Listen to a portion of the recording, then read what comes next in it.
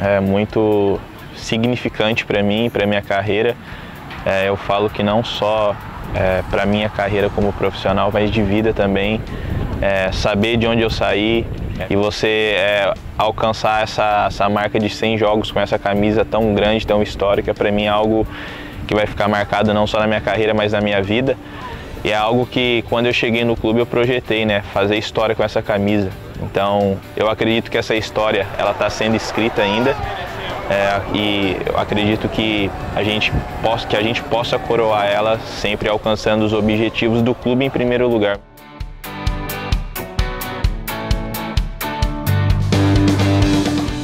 Eu vivi, estou vivendo em tão pouco tempo algo que eu demoraria para estar tá vivendo em outro clube, né? A paixão que o torcedor né, tem pelo, pelo clube, isso me motiva, isso me ensina a cada dia e me motiva a trabalhar cada dia mais forte, a realmente deixar a minha vida dentro de campo. Quando eu vejo a torcida vibrando, né, cantando, empurrando o time dentro do, dentro do, do estádio, isso é algo que me motiva. Então, é, me faz ter consciência da missão né, que eu tenho com a camisa do esporte. Então, é, me leva a ter um senso de missão né, e um senso também de privilégio de estar fazendo parte dessa missão, que é sempre buscar né, fazer história com a camisa do esporte, sempre é, buscando os objetivos que o clube tem a cada temporada.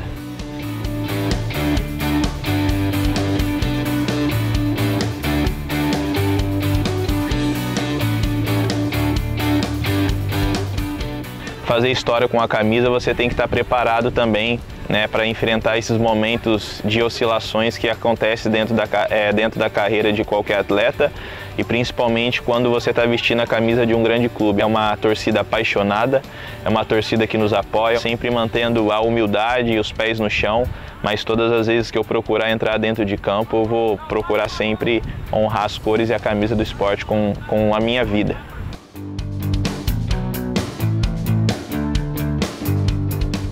Minha família é, foi muito bem acolhida, minha esposa por ser do Nordeste também, e eu já por ter jogado no Nordeste em outros clubes, né, a adaptação ela foi muito fácil. Mas assim, um momento que a gente está vivendo como família, o crescimento da família com a chegada do Joshua também, a Sara também muito bem adaptada né, no Recife. Então eu acho que eu só tenho que é, agradecer e todos os dias é, levantar as mãos para o céu, porque as oportunidades que eu tenho tido, né, tanto profissionais quanto na vida pessoal, de você estar tá vivendo né, na cidade de Recife, convivendo com o povo pernambucano que me acolheu, me abraçou. Então as minhas raízes agora, através do meu filho Josh, são pernambucanas. Então é algo que eu e a minha família, a gente é, se sente muito privilegiado e muito grato por tudo que a gente está vivendo.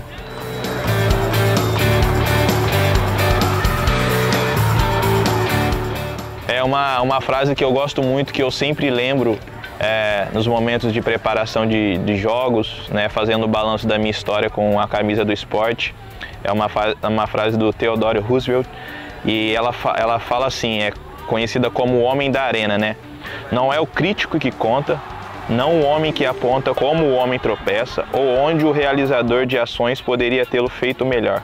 O crédito pertence ao homem que está realmente na arena cujo rosto está machucado, manchado de poeira, suor e sangue, que luta bravamente, que erra, que falha repetidamente, porque não há esforço sem erro e falha, mas quem na verdade se esforça para realizar, realizar as ações, que conhece grandes entusiasmos, as grandes devoções, que se entrega a uma causa digna, que no melhor dos casos conhece no final o triunfo da alta realização e que no pior, se falhar, ao menos falha enquanto ousadamente ou grandemente, de modo que seu lugar nunca será com, aqu com aquelas almas frias e tímidas, que não conhecem nem a vitória nem a derrota. Então essa é uma frase né, que fala muito comigo. Eu sou um jogador que eu nunca vou procurar né, ser o super-herói e também nunca vou me esconder, nunca vou ser omisso. Então pode ter certeza que eu vou ser sempre o guerreiro que entra dentro de campo para sempre guerrear e para ajudar a equipe a conquistar os, as vitórias e, consequentemente, os objetivos né, do esporte. Esse, essa frase me define muito. Esse é o Fabinho Guerreiro do Leão.